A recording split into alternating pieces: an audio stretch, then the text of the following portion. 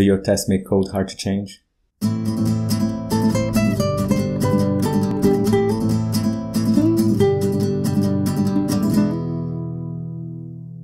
Hey, this is Caio from essentialdeveloper.com and today I'm recording from Sao Paulo, Brazil. In today's video, we're going to talk about common mistakes that makes people turn their heads on testing, starting with tests that make code hard to change.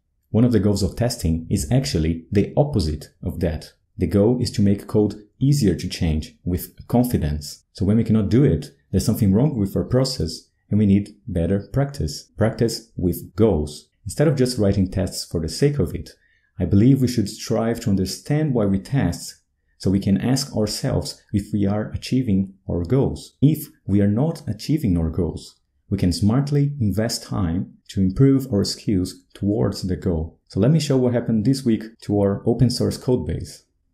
One of the key parts of the app is the game flow that controls the flow of questions and answers in the quiz. We've received a merge request from a developer called Serhi, in which he pretty much rewrote this component to improve the code, and the tests were unchanged. The code was test driven, and we have 100% confidence that if the test passes, everything is fine. That proves that the code is resilient and flexible. A very powerful combination. So to make this more interesting, imagine a musician performing a piece flawlessly, and then compare that with traffic noise like cars buzzing and ambulances. They are both a collection of sounds, but a musician follow a bunch of rules that were practiced over and over. Successful software development also requires rules and disciplines to be followed. It requires good process and practice. Does that mean that there's only one process or one way to be successful in software development?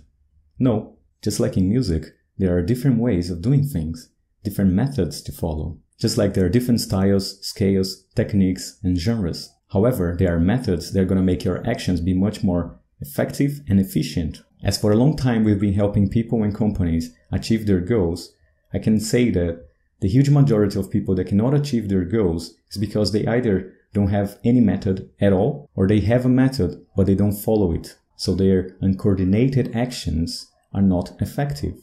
Luckily, we also see a bunch of successful people and they all have a process. They all follow a method. Test driven development is one of those methods or disciplines, and it's a clear step by step process. There's step one, two, three, just like a song that can be practiced, which makes it very effective and efficient.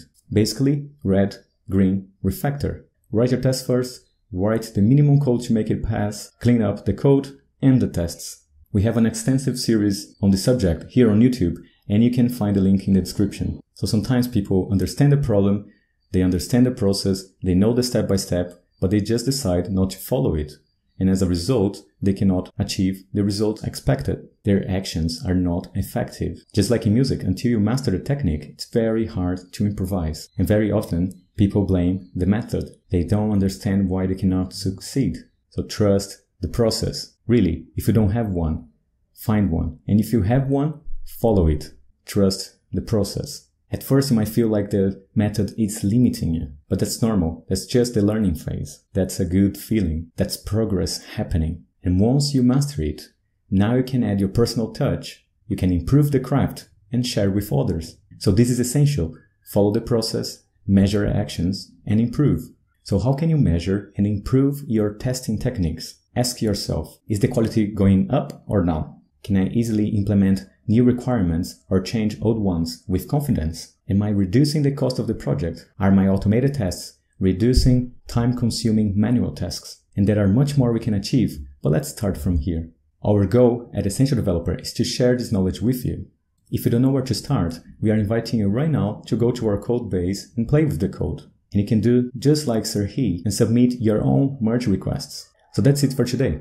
Don't forget to subscribe and check out our professional iOS series. The link is in the description. Thanks for watching and I'll see you next time.